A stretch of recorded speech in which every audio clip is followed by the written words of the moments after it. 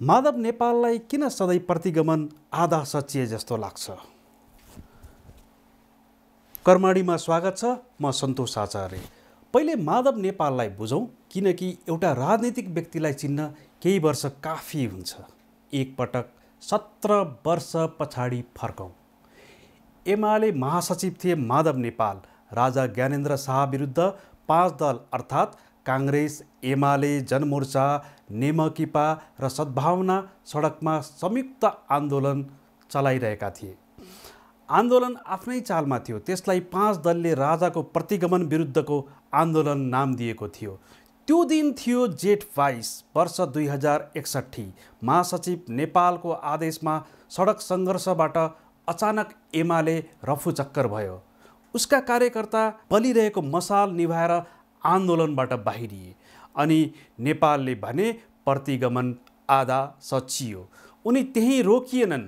राजा ज्ञानेन्द्रले गठन गरेको मन्त्रीमण्डलमा भरतमोहन अधिकारीको नेतृत्वमा एमालेका नेताहरूलाई मन्त्री बन्न पठाए। तर लगत्तै राजा ज्ञानेन्द्रले सत्ताको लगाम आफ्नो हातमा लिए देउबादेखि नेपालसम्मलाई नजरबन्दमा राखे। ज्ञानेन्द्रको सक्रिय शासन सुरु भयो।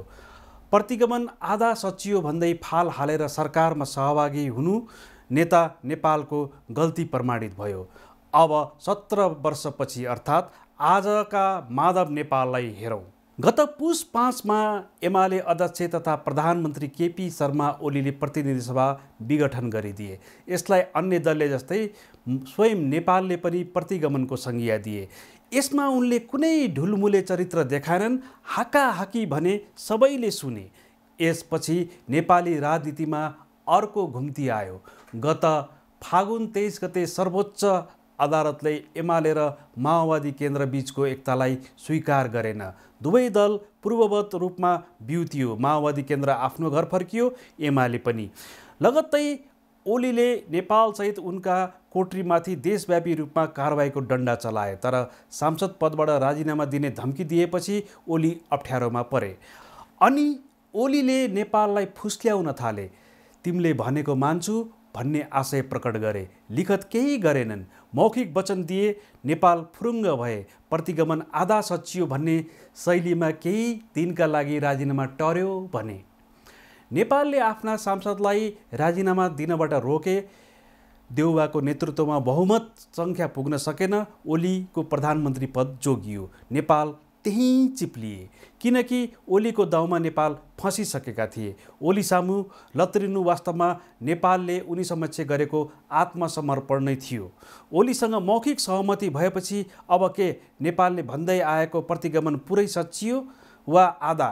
यदि ओलीले नेपालका मागमा अनिच्छा देखाए के हुन्छ? पार्टीलाई माओवादी केन्द्रसँग एकीकरण हुनुपूर्वको स्थितिमा पुर्याउन ओलीले नमाने नेपालसँग विकल्प के छ?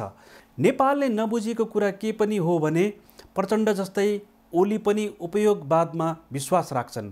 अहिले आफूलाई असहज पर्दा नेपालको साथ लिए पनि जति बेला उनले आवश्यकता महसुस गर्दैनन् त्यति बेला नेपालको शर्त मान्न उनी राजी हुने छैनन्। संविधान मान्न त अनुकराउने ओलीले नेपाल समक्ष मौखिक रूपमा व्यक्त गरेको बाचा सबै पुरा गर्छन् भन्ने पनि छैन। ओलीले फेरि पनि एमालेका विद्रोही जतिलाई पार्टीमा खास भाउ दिएनन् भने नेता नेपालले कस्तो निर्णय लिन्छन्? उनीसँग भन्नका लागि तिन कुरा छन्। प्रतिगमन आधा सचियो प्रतिगमन पुरै सचियो वा फेरि प्रतिगमन भयो। नेता नेपालसँग अब ओलीले जे दिन्छन् त्यसमै सन्तोख मानेर बस्ने वा विद्रोह गरेर अलग दल खोल्ने बाहेक अर्को विकल्प छैन। विगतमा जस्तै आफ्नो दोषको भारी अरू कसैको टाउकोमा बिसाउन पाउने छुट यी उन्सत्तरी वर्षीय पाका नेतालाई हुने छैन। नत्र नसचिएको प्रतिगमनलाई आधा सचिएको भन्ने नेतालाई नेपाली राजनीतिमा माधव कुमार नेपाल भनिनेछ।